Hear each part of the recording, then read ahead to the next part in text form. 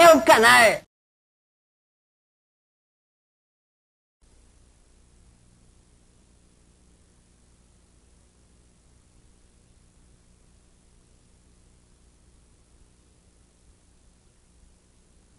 Vale Rural, oferecimento Paulista, tradição de qualidade.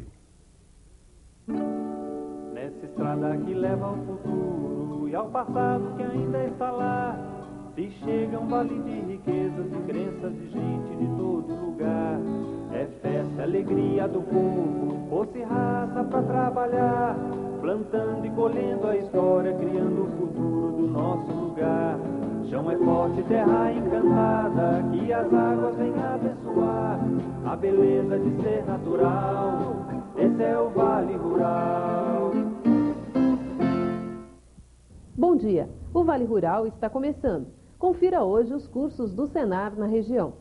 E ainda, dicas sobre ferrageamento corretivo. A agricultura municipalizada de Pindamonhangaba. Produtor economiza 50% na instalação da ordenha mecânica. A Içá como iguaria Vale Paraibana. Veja ainda os negócios dos leilões e a agenda rural.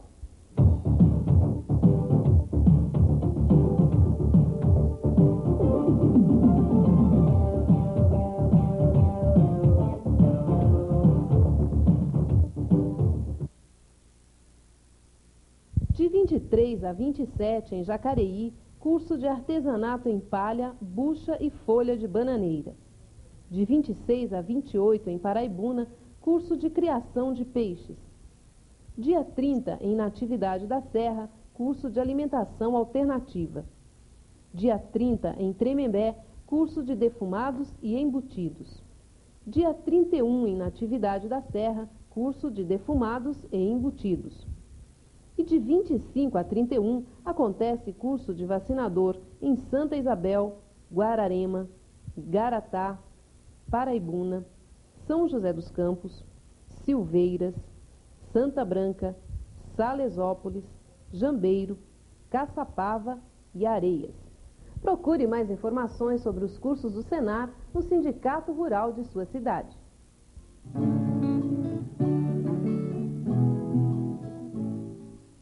Nem sempre os cascos dos cavalos são perfeitos, por isso é que o ferrageamento corretivo se torna necessário. A condição anatômica ideal para o cavalo deve ser obtida sempre que possível com a paração consciente dos cascos e com a correção de aprumos, complementados por um ferrageamento correto. A grande maioria dos cavalos domesticados sofrem de eixo antero-posterior quebrado para baixo, devido aos talões fracos ou aparados em excesso. Isso provoca estresse desnecessário dos tendões flexores e de articulações do sistema digital, com aparecimento de afecções diversas em músculos, tendões, ligamentos e ossos, entre outros tecidos. Para os cascos de talões fracos ou escorridos, impossíveis de correção pela aparação simples, deve ser usado o artifício do alçamento de talões para o aumento do ângulo do digital e alinhamento do referido eixo, através do uso de ferraduras talonadas ou com o uso de calços de talão especiais de metal, plástico ou borrachas, conhecidos ainda como PED. O alçamento de talões é feito de acordo com o grau a ser corrigido. Vemos aqui a colocação de calços de plástico para correção do ângulo. Eles podem ser rebitados atrás na asa da ferradura e o primeiro cravo nos médios do casco completa a fixação. O eixo digital anteriormente desalinhado passa a atender a condição anatômica ideal, como mostra a radiografia do digital.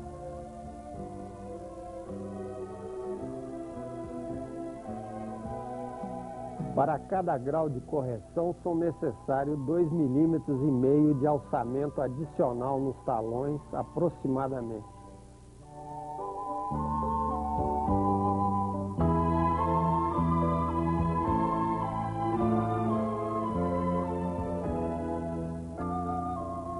Aparação simples do casco não consegue posicionar bem os joelhos e os jarretes de forma a garantir um balanceamento médio-lateral perfeito, torna-se necessário o uso de artifícios do ferrageamento de calços laterais de alumínio, plástico ou borracha. Esses calços, denominados PEDs, são projetados a partir da avaliação do defeito com o nível de aprumo que indica a espessura aproximada para a correção.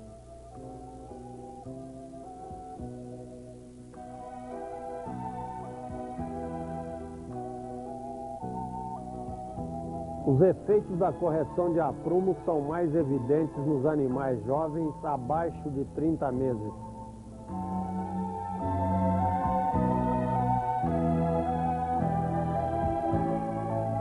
Para os animais que possuem fechamento de jarretes, utilizamos o artifício da colocação de calços entre a ferradura e o casco no lado interno para propiciar a abertura de jarretes. Caso contrário, colocamos o calço entre o casco e a ferradura do lado externo para fechar o jarrete. Da mesma forma, para os casos de fechamento de joelho, colocamos o calço no lado interno entre a ferradura e o casco para melhorar o posicionamento do joelho correspondente.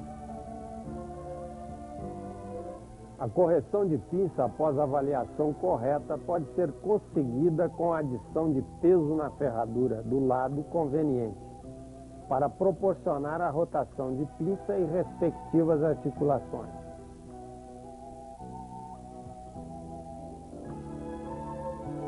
Peso externo produz rotação para fora, peso interno produz rotação para dentro.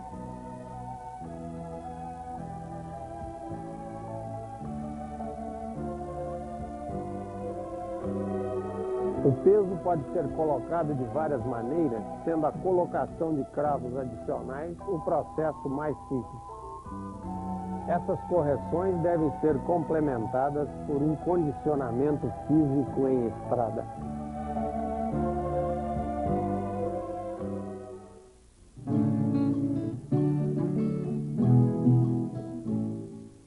Bom dia, amigos. Vamos agora à agenda de nossos próximos negócios.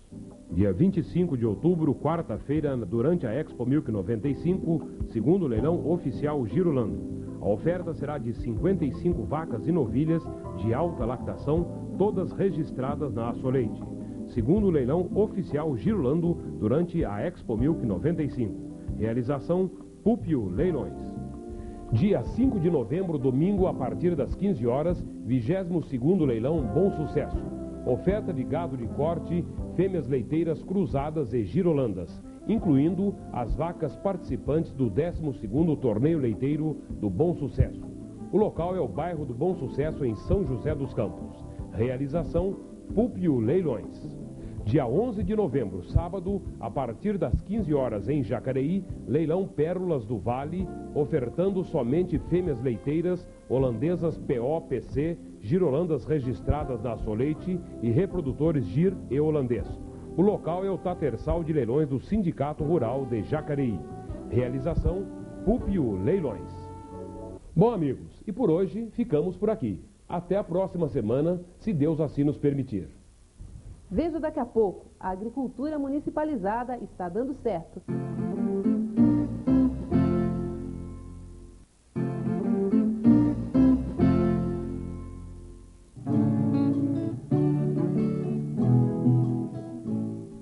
Mais um município da região obtém sucesso na municipalização. Veja agora o trabalho realizado em Pindamonhangaba. Pindamonhangaba é um dos poucos municípios do Vale do Paraíba onde pode ser verificado um crescimento de indústrias em ritmo acelerado. A criação desse distrito industrial em 1993 já atraiu para a cidade 16 novas indústrias, o que significa novos empregos e mais renda para a população. Engana-se quem imagina que apenas esse setor da economia local tem avançado no município. Tradicional bacia leiteira é um dos principais produtores de arroz irrigado do estado. Pindamonhangaba também passa por um período de desenvolvimento do setor rural. Logo após assinar o convênio de municipalização da agricultura, no final de 1993, o município também aderiu ao projeto Volta ao Campo, que envolve a Prefeitura, o SEBRAE, a Universidade de Taubaté, a Associação dos Técnicos Agropecuários e Produtores Rurais.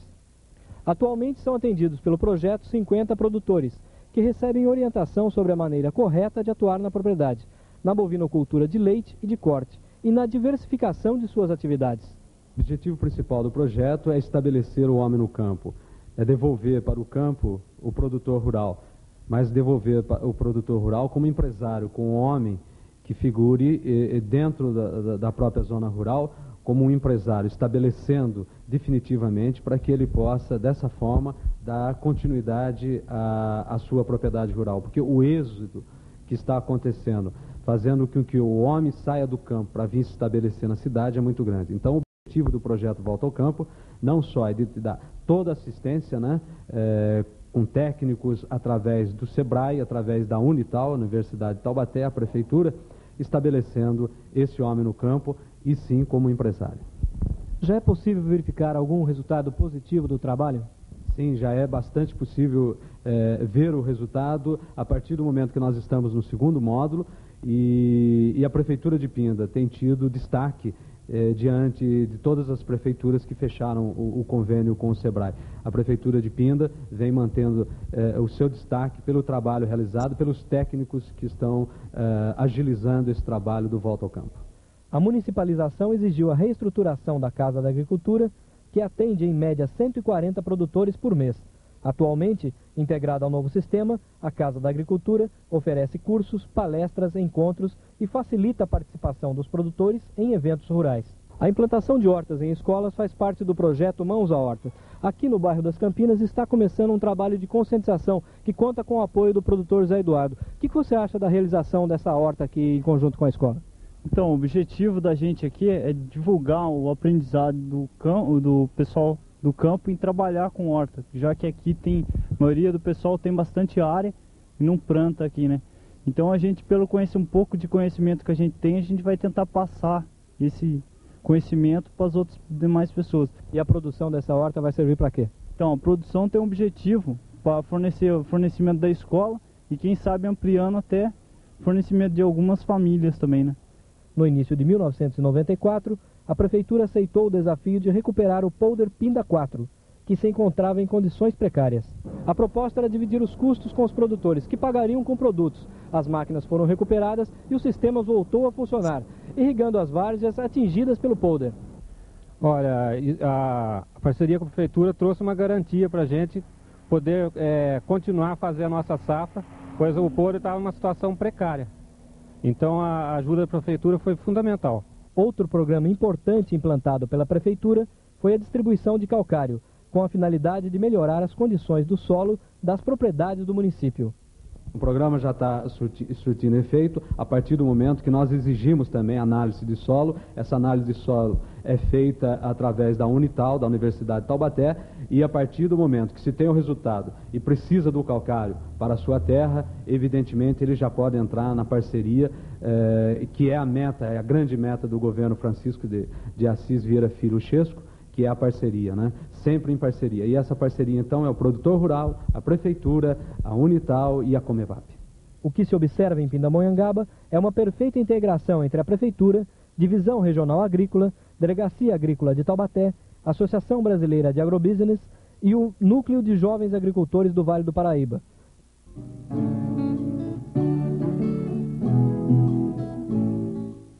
AMA, Associação Modelo de Apicultura de Pindamonhangaba, está interessado em ampliar os produtores na região.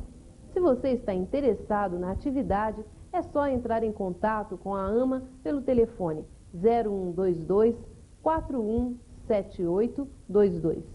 Continua em toda a região a vacinação contra a febre aftosa. Redenção da Serra terá de 20 a 30 de outubro a vacinação assistida, com o objetivo de obrigar os produtores inadimplentes a vacinarem seus rebanhos. Em Caçapava, a Secretaria Municipal de Agricultura fará postos nas estradas municipais com o objetivo de fiscalizar caminhões que transportam gado. E a partir do dia 7 de novembro, a Polícia Rodoviária vai parar todo caminhão transportando gado para fiscalização de documentação. Produtores de café do estado de São Paulo estão começando a ficar mais satisfeitos. A diminuição do ICMS do produto torrado fez com que o preço ao consumidor caísse em 13%. E com isso, as vendas aumentaram em 10%. Os produtores querem agora que o governador Mário Covas prorrogue o prazo de isenção, que foi estipulado até 31 de outubro. E veja agora a nossa agenda rural. Acontece de 22 a 29 em São Paulo a Expo Milk. O evento reunirá cerca de 2 mil animais de cinco raças leiteiras. De 25 a 28 em Pindamonhangaba, curso de produção de camarões. O Núcleo Marcha Vale está preparando a exposição do Potro do Futuro, que acontece de 9 a 12 de novembro em Jacareí. No próximo bloco, veja como um produtor de Natividade da Serra consegue economizar em um sistema de ordenha. E a içá ainda é um prato apreciado no Vale do Paraíba.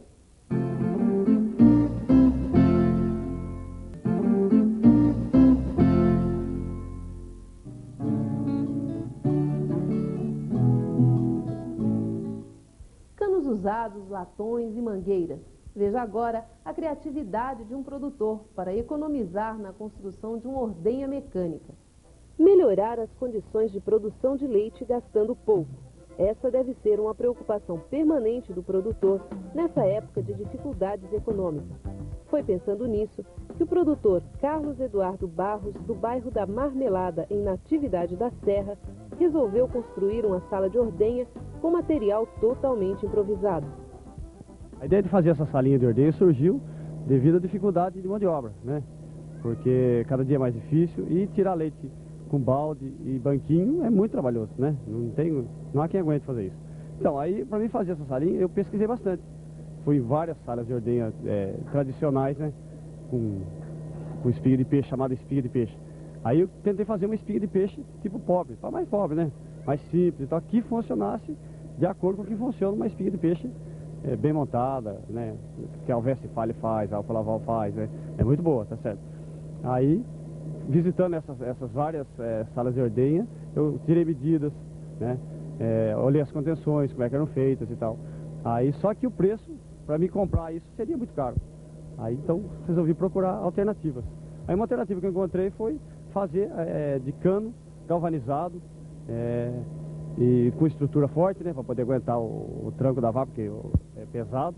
E esse cano, eu coloquei as barras da contenção retas, não tem as contenções é, retorcidas, né, que eles fazem para encostar melhor a, a, a, vaca e tal. Eu não acho, não, não, não tem essa necessidade, porque a vaca também fica na posição adequada para tirar o leite. É o portãozinho que ela, que ela vai, é portãozinho que dá essa, essa, essa envergadura na vaca, né? O portãozinho já é de acordo, então a vaca fica torta, entra do lado, fica igualzinho uma sala de ordenha tradicional.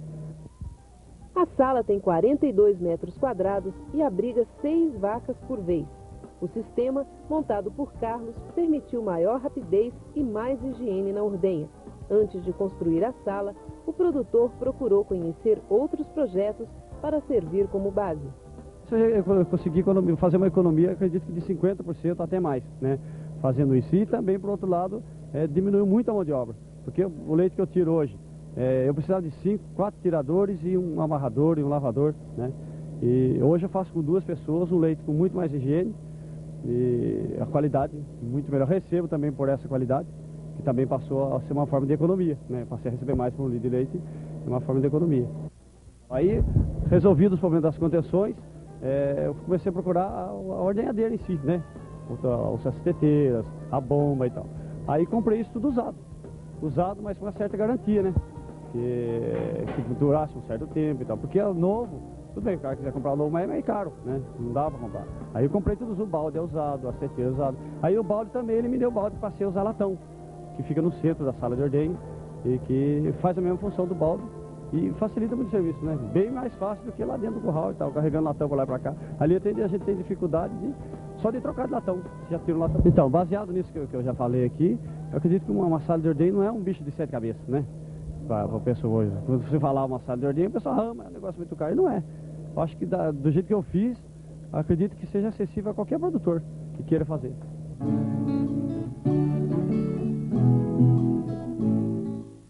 Chega outubro e a força da tradição toma conta de todo o Vale do Paraíba. A revoada da Içá faz a alegria do povo. Essa é mais uma iguaria exótica apreciada pela população vale-paraibana. Sem Sempre depois de uma chuva com o sol a pino, os formigueiros entram em erupção. As formigas e os sabitus procuram tocar para fora do formigueiro as estás. É hora delas fazerem seus voos de procriação e liberar o local para a criação de outras rainhas. É aí que a população mais simples faz seu ritual em busca desses insetos que tem até hora para sair. Hoje sai um pouquinho sá, mas se trovejar à noite, daí amanhã sai bastante. Que é o trovão que puxa os no lugar. Alguns preferem caçar, onde elas caem para tentar fazer uma nova casa. Quem tem coragem de enfrentar as formigas acaba tendo mais içás para levar à panela.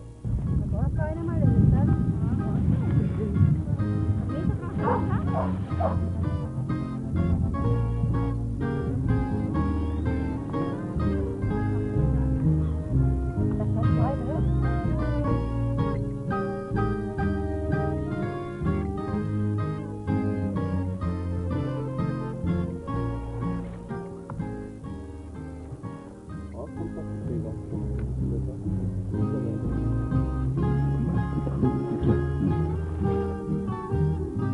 gente com a receita na ponta da língua.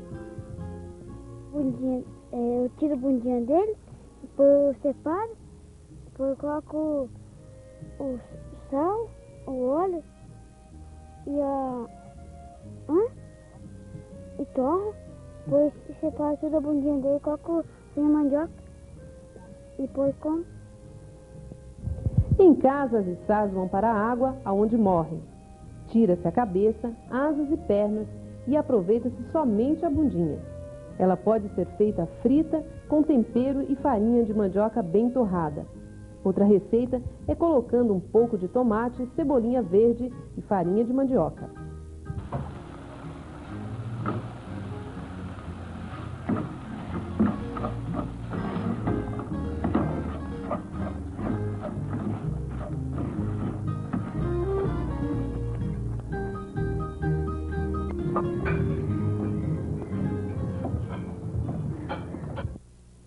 Para finalizar, uma curiosidade. Monteiro Lobato era um grande apreciador da içá torrada.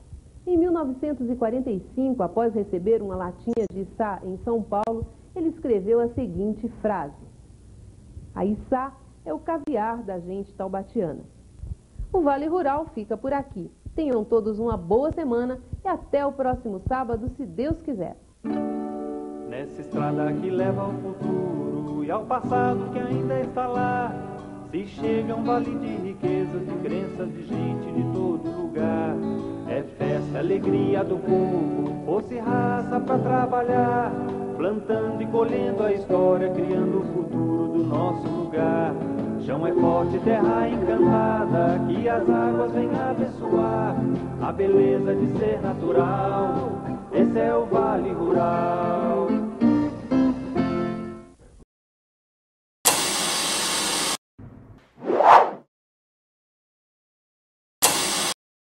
É um canal.